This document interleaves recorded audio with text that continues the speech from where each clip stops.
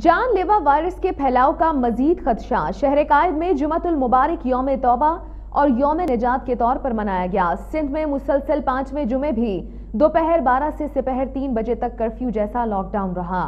शहरियों के आने जाने पर मुकम्मल पाबंदी और हर किस्म की दुकानें बंद रहीं।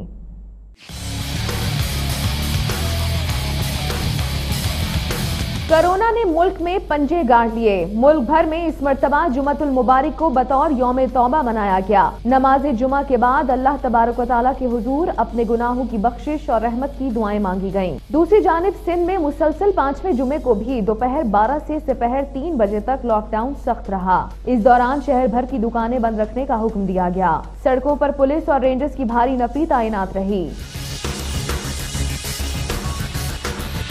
वाजे रहे कि 20 अप्रैल वज़ीर आज़म इमरान खान से उलमाई कराम ने मुलाकात में रमजानुल मुबारक में इबादत के साथ कोरोना वायरस से बचाव की तदाबीर पर मशावरत की थी।